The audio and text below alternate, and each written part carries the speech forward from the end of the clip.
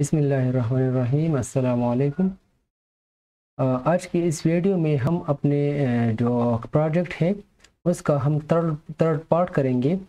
इस पार्ट में हम अपने प्रोजेक्ट को, का जो भी डेटा है, वो हम विजुअलाइज करेंगे, ठीक है? विजुअलाइजेशन जो है, वो मोस्ट इंपॉर्टेंट और बहुत जो है, वो यूज़फुल मेथड है, ठीक है? जिससे हम अपने डेटा के नेचर को हम रीड कर सकते हैं, उनको हम अंडरस्टैंड कर सकते हैं। हम उसको उसको अदर टेक्निक्स और उनको एनालाइज करने से पहले भी हम इनको जो है, हम इनको विजुलाइज करके हम इनको अंडरस्टैंड कर सकते हैं और इसको हम अपने जो टेक्निक्स हम यूज़ करते हैं, हम इनको एनालाइज करने के बाद भी हम इनको विजुलाइज कर सकते हैं, ठीक है? तो हाँ सबसे पहले हम अपने जो हम, हमारे पास जो लाइब्रेरीज हैं नम्पाई और पंडास को हम इंपोर्ट करते हैं। फिर read the retail data set तो उसी तरह ही हम जो है, अपने रिटेल डेटा डेटा से एस वी रिटेल डेटा से एस वी फ़ाइल को हम रीड करते हैं, ठीक है, यहाँ पर। और फिर हम इनको, इनका जो हेड है, ठीक है टेन टेन जो हमारे पास डेटा है, ठीक है, वो हम यहाँ पर प्रिंट करते हैं। नेक्स्ट रिटेल द इसके बाद हम हमारे पास जो इंडिया डेटा सेट है ठीक है वो हम यहाँ पर uh, क्या करते हैं हम यहाँ पर वो रीड करते हैं और इसके बाद हम यहाँ पर अपेंड करते हैं अपने मेन फ्रेम मेन जो हमारा डेटा फ्रेम है ठीक है हम उनके उन, उनके साथ अपेंड करते हैं इंडिया डेटा फ्रेम को और फिर हम उनका टेल जो है वो हम जब शो करते हैं तो वो हमको यहाँ पर जो है वो शो करता है, ठीक है? एंड में इंडिया ठीक है? तो अपेंड हो चुका है।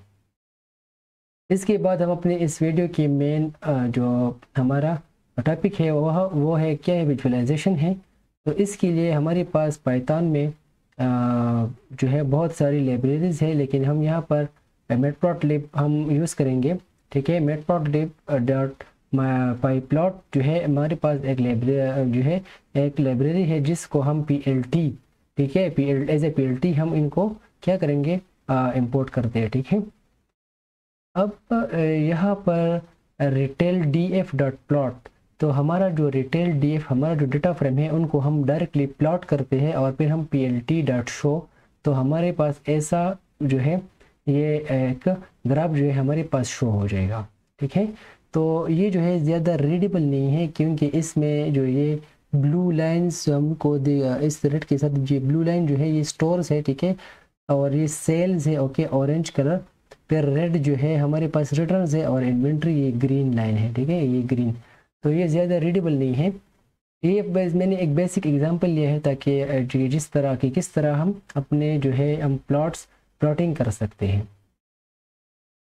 Next plotting single variable from pandas data frame okay तो यहाँ पर मैंने एक एक सिर्फ़ सेल्स को मैंने प्लॉट किया है, ठीक है? रिटेल डॉट रिटेल हमारा जो डेटा फ्रेम है, उसका जो सेल्स वेरिएबल है, सिर्फ़ उसी को मैंने प्लॉट किया है, ठीक है? तो यहाँ पर मुझे इस तरह जो इस तरह का एक ग्राफ जो है, इसको मैंने इसलिए इस, इसने मुझे शो किया है। ये मेरे पास इंडिसेस है कि ज़ीरो टू फिफ्टी जो इंडिसेस है, उसका जो ग्राफ है वो इस तरह है, ठीक है? और ये उसका जो है वो ये सेल्स है, कि ज़ीरो से ये ये ये जो एक्स एसिस है, ये मुझे क्या, ये मुझे इंटेसिस शो करता है और ये मुझे सेल्स शो करते हैं। इसके बाद हम बार चार्ट जो है, ये ये लाइन है, ठीक है? ये बार चार्ट नहीं, ये लाइन है, ठीक है? ये लाइन चार्ट है, लेकिन हम फॉर बेटर अंडरस्टैंडिंग हम यहाँ पर एक अदर ग्राफ को देखते हैं, ठीक है? Bar chart for sale variable okay so यहाँ पर ये मैंने मेरा जो सी एस एल सीरीज़ है ठीक है इसको मैं प्लॉट करता हूँ बार चा, बार चार्ट में ठीक है? बार में। तो यहाँ पर फिर जब मैं इनको शो करता हूँ तो यहाँ पर मुझे इस तरह जो है लाइन जो बार चार्ट है ये मुझे शो करता है ठीक है? ये बार से लाइन्स नहीं है ठीक है? ये बार चार्ट मुझे शो करता है। लेकिन यहाँ पर ये इंडिसीज जो है ये बहुत ज़्यादा है ठीक है? क्योंकि ये वन ये वन वन डेटा को ये सिंगल सिंगल डेटा को यहाँ पर इसने डिस्प्ले किया है सो ये रीडेबल भी नहीं है और इसकी जो इंडिस है वो भी जो है ये ब्लैक है और ये मेरे पास इनकी सेल्स है ठीक है? तो इसको हम ज़्यादा अच्छे तरह यहाँ पर करते हैं। ये बार चार्ट को हम यहाँ पर इस तरह यूज़ कर सकते हैं कि इनका जो एक्स एक्सिस है, ठीक है? एक्स एक्सिस है, इनको रीजन इनको रीजन दो, ठीक है? इनको ये इंटिसिस पर, ये मुझे इंटिसिस नहीं चाहिए, इसको रीजन रीजन पर डिवाइड करो, ठीक है? और फिर मुझे क्या करो? प्लॉट मुझे शो करो। ठीक है? तो इस तरह ये मुझे ये एक चार्ट जो है, ये डिस्प्ले करेगा, ठीक है? ये रीजन पर, ठीक है? और ये मेरे पास सेल्स है। Next aggregate the sales at regional level ठीक है? तो मैं इस डेटा फ्रेम में रिटेल डीएफ अपना डेटा फ्रेम में पास करूँगा और ग्रुप बाय रीजन लेवल ठीक है? रीजन लेवल पर इसको ग्रुप करो और डॉट सेल्स को कर क्या करो? सम तो ये यहाँ पर आ, मुझे जो रिज़ल्ट कर डिस्प्ले करता है इसका हेड मुझे शो करता है ठीक है? और फाइव डेटा को। तो इसमें जो सेल्स है उस इनको, इनको सम किया है ठीक है? और वो मुझे शो किया है। अब मैं क्या करना चाहता हूँ इसके बाद मैं क्या करना चाहता हूँ कि ये जो एक्स एक्सिस होता है मेरे बार मेरे चार्ट का, वो क्या कर, वो क्या लो, वो रीजन लेवल पर लो, ठीक है? वो रीजन पर लो, बार चार्ट जो है, ठीक है? और फिर मुझे वो प्लॉट मुझे शो करो। तो इसी तरह ये मुझे एक चार्ट जो है, बार चार्ट मुझे प्रिंट करता है, ठीक है? कि ये जो अफ्रीका है, इनका ये जो सेल्स है, ठीक है? ये इस इसकी इतनी सेल्स है ठीक है ये एशिया जो है इसकी इतनी सेल्स है ओके और आ, ये कनाडा का इतना सेल्स है और सबसे ज़्यादा जो सेल्स है वो यूनाइटेड स्टेट्स में है ठीक है? सबसे ज़्यादा तो इसी तरह मैं क्या कर मैं क्या कर सकता हूँ? मैं अपने डेटा को इस बार चार्ट के थ्रू में एनालाइज कर सकता हूँ। अब इसके बाद हमारे पास स्केटर प्लॉट आ जाता है, ठीक है? तो स्केटर प्लॉट हमारे पास क्या कि हम इसको यहाँ पर डेटा देते हैं सेल्स और रिटर्न्स ठीक है? इसको मैंने एक्स एक्सिस पर सेल्स दिया है और वाई वाई एक्सिस पर मैंने रिटर्न्स दिया है, ठीक है? कि क्या करो? मुझे यहाँ पर सेल्स दो और मुझे यहाँ पर रिटर्न्स तो जिस तरह हमारे पास जो ये सेल्स बढ़ते हैं, ठीक है? तो कहीं कहीं पर हमारे पास ये जो रिटर्न्स है, वो भी बढ़ते जाते हैं, लेकिन ये फिर फिर भी नीचे आते हैं और फिर ऊपर। ठीक है, ये कांस्टेंटली जो हमारे पास ये रिटर्न्स है, ये कांस्टेंट्स है, ठीक है, ये कांस्टेंटली जो है, ये ये काम करते हैं। यहाँ पर अगर हम देखें तो जब ये डेटा हमारा कुछ ट्वेंटी थाउज़ेंड से थोड़े आगे, जो है एटीन होगा, ठीक है? एटीन थाउज़ेंड पर हमारा डेटा जो है यहाँ पर थोड़ा ऊपर गया है, ठीक है? हमारा जो रिटर्न है वो थोड़े ऊपर गए थे, उसके बाद टू ट्वेंटी थाउज़ेंड पर ऊपर गए थे, इसके बाद ट्वेंटी फोर थाउज़ेंड पर, ठीक है? और सबसे ज़्यादा रिटर्न्स मुझे ट्वेंटी फाइव से नहीं ट्वेंटी फोर थाउज़ेंड पर जो है मुझे सबसे ज़्यादा जो है रिटर्न्स मुझे आए थे, ठीक है? तो इस तरह मैं इस स्केटर प्लॉट से स्केटर चर्ट से मैं ये जो है एनालाइज कर कर सकता हूँ, ठीक है, कि हमारा डेटा जो है इसका रिलेशन क्या है, ठीक है?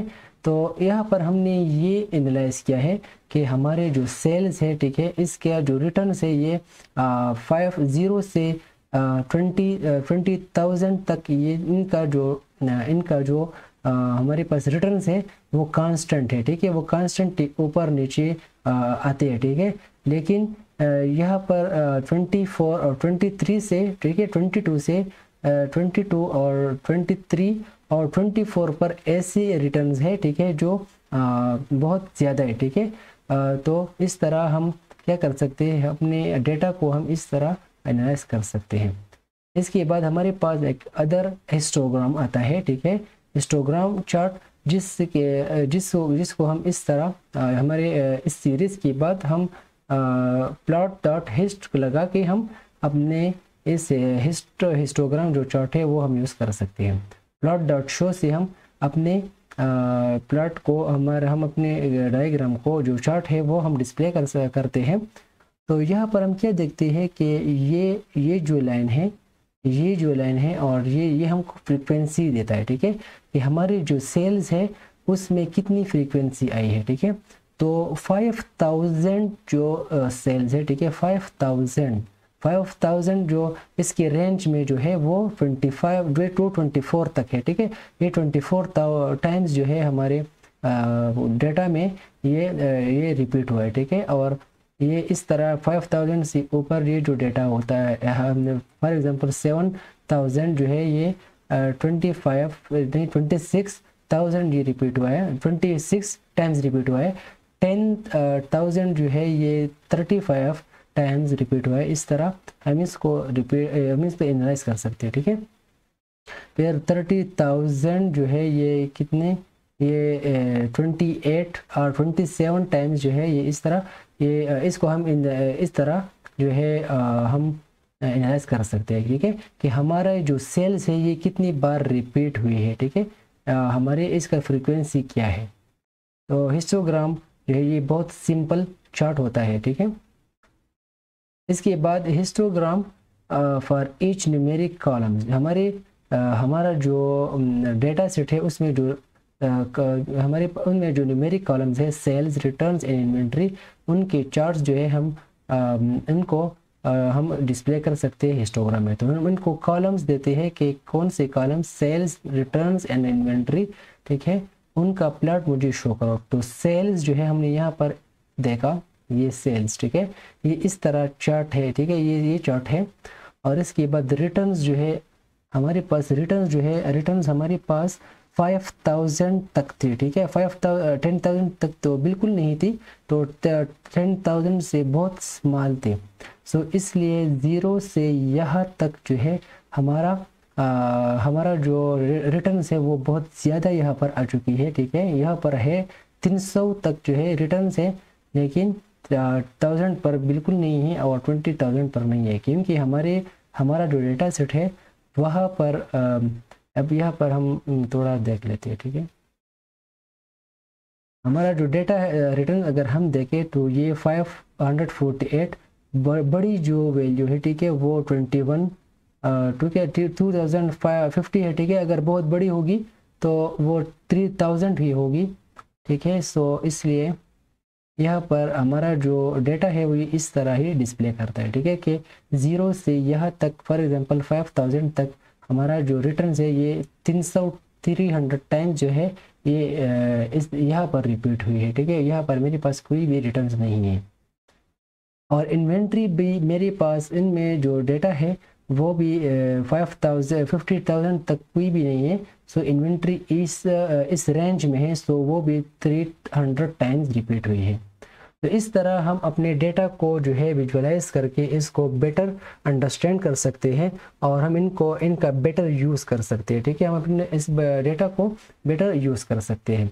तो फ्रेंड्स ये थी हमारे प्रोजेक्ट का तीसरी पार्ट तीसरा पार्ट ओके और आ, कोई भी अगर आप लोगों को कोई भी क्वेश्चन हो इस प्रोजेक्ट में कोई भी प्रॉब्लम हो तो आप प्लीज़ कमेंट में पूछ सकते हैं। और आ, मिलते हैं नेक्स्ट वीडियो में तब तक के लिए गुड बाय